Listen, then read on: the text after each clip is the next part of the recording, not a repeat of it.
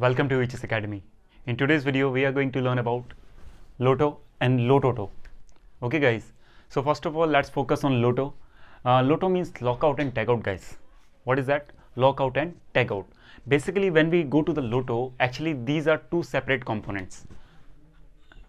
Low is different, to is different. Okay, low means lockout, TO means tagout. So these two are different. When these two lockout and tagout got combined, they will form one procedure. What is that?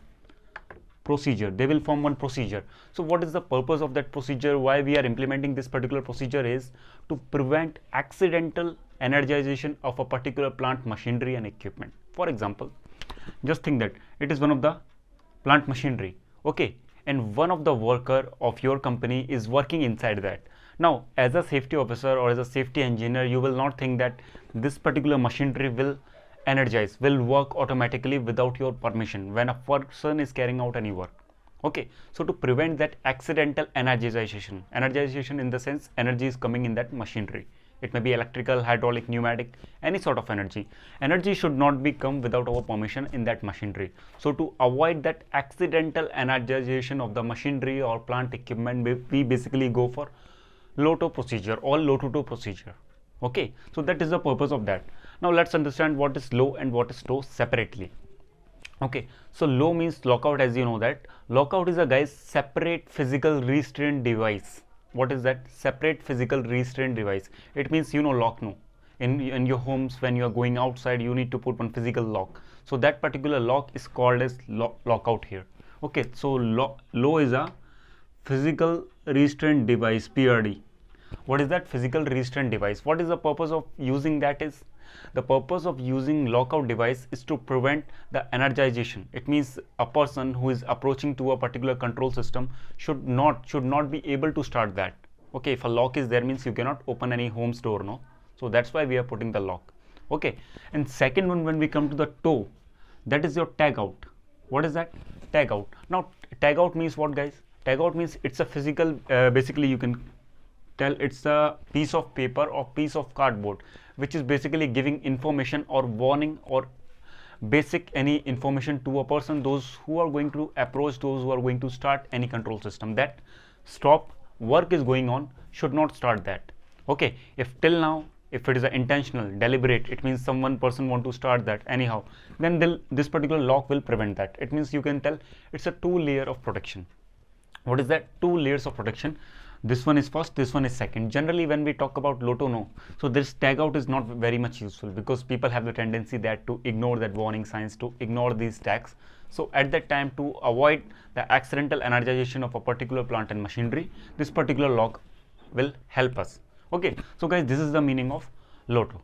Okay. Now when we come to the LOTOTO I will explain you. First of all let's try to understand what are the different steps that is available in a LOTO procedure. As I told you when low and TO both are getting combined. It means when they got mixed they will form one procedure which is widely accepted in the industries. So let's understand how this particular work. Okay so first of all the LOTO procedure is done by a authorized person. It means everyone cannot do a LOTO you must have proper understanding. You must know how to do it. Okay afterwards one person will be selected that is called a LOTO authorized person. One person you have selected. Okay so first of all this particular person have to identify the sources of energy for example a machine. Nowadays a machine is running by electricity. So what is the source of energy here? That electricity. You need to off the mains you need to off the electrical energy supply there. Okay so this is the energy source.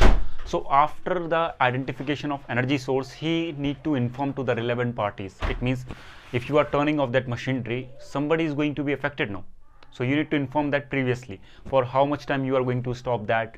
Uh, what is the purpose of that how much how long it will take to re-energize that. Okay so these things you need to do. This is second step. When we come to the third step that is that is called actual stopping of the machinery in a normal operation. It means suddenly you don't need to stop. Normally you need to stop your machinery or plant equipment which is gone under the LOTO procedure. Normally once you have stopped after that you can put your low and TO device there. Okay so that is the normal procedure. So after completion of your work you can just do the vice versa of that. Means again remove the procedure start the machinery and inform the personnel. So that is the LOTO procedure. Now guys when we come to the LOTOTO that is pretty much similar to that actually. Only one element is extra. Okay lockout tag out and try out. What is it? This is tryout this is tagout and this is lockout so tryout in the sense guys tryout means once you have implemented the lockout procedure lockout and tagout procedure you need to just check it whether it is effective or not okay for example generally when we are going outside our home what we do? We generally put one lock there. Okay after putting the lock generally one small doubt we have in our mind like uh, somebody can open that particular lock or not. So just uh, we will stitch that as well as we will try to open that whether it will open or not. So the same thing you need to do here. You just need to try to start that particular machinery which have undergone under the LOTO procedure. Okay so that particular element will be called as try out okay so and uh, basically before starting uh, your work after implementing the LOTO procedure just just try to implement that element that is your tryout. Okay so it will verify that your LOTO is effective or not whether your LOTO is effective or not. So guys this is about the LOTO procedure. I hope you understand uh, that it is a very basic procedure. Generally people have created six to seven steps. You can follow that also. Otherwise this is a simple procedure that we need to follow in LOTO okay so this is the end of the videos guys. If you like this video you can subscribe to this channel and share can uh, share this video as well as if you have any doubt you can put them in comment box. I will answer you as soon as possible. So thank you for watching. Meet you in the next video. Till then take care